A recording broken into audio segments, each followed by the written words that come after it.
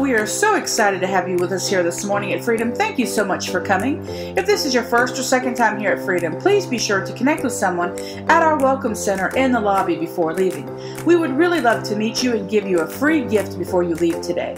We also have a Bible study tonight at 6 o'clock, and we have a nursery available along with our Awana Club for ages 2 years old through grade 6. Please come join us tonight for more of God's truth in your life.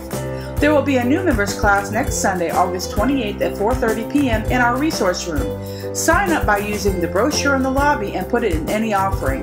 Free childcare, snacks, and drinks will be provided. Come ask your questions and learn why it is important to not just be an attender, but to become part of our Freedom family. Friend Day is Sunday, September 25th. Invite and bring a friend, family member, or neighbor with you who needs hope and encouragement in their life. Jesus says in the Holy Bible, I am the way, the truth, and the life. No man cometh unto the Father but by me. This is in John 14 6. It is nothing we can do for them or nothing they can do for themselves. It is all about them opening their heart up to the life change only offered through God's own Son, Jesus Christ. Tell them, give them hope.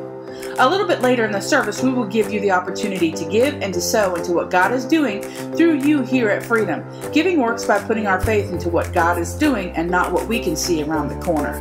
Well, that'll be it for now. Thanks so much for coming to Freedom today. We have been preparing this service for you all week long.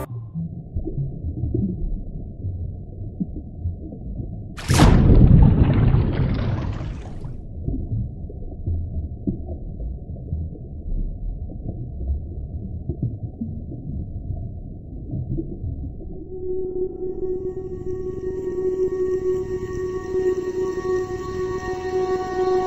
you.